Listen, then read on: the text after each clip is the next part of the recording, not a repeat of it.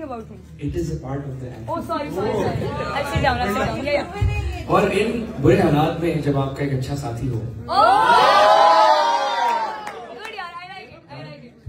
तो अच्छा लगता है।